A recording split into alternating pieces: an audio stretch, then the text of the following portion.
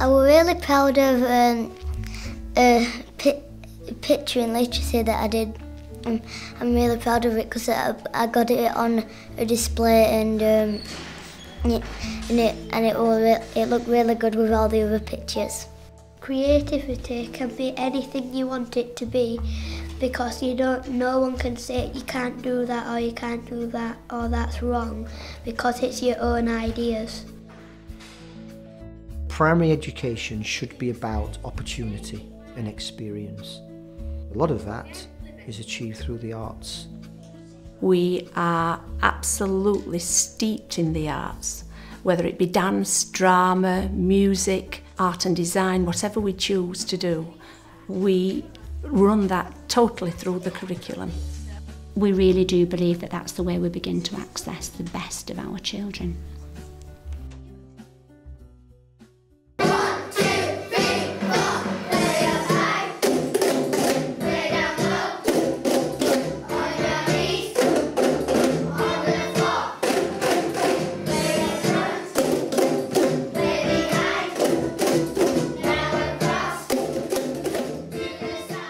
Green Green's a really good school because of all the art we do. It makes me feel about the school like it's a creative school and a colourful school. When I see it on display, I think it's really nice. I also like the handwriting in, in the school when I walk past because I think it's really, really neat.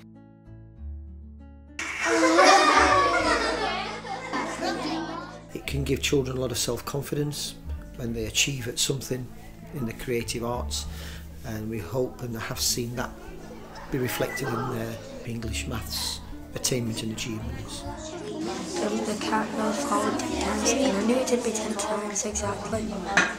So then it'd land there and then the ball could go up and then go through.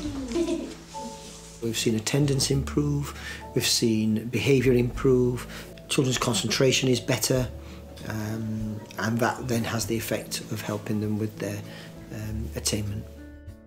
I think we've had the Artsmark Gold three times. Um, the whole school, parents and governors, authority, sharing that success. Last year we were doing, uh, we won an arts award and, uh, for our art, so I was proud of that and I used my own time to finish it off. It just helps us to feel part of a successful organisation, um, makes children, staff feel just good about the place. So the arts has helped to create a, a really feel-good factor in the school. Positivity. Have a go.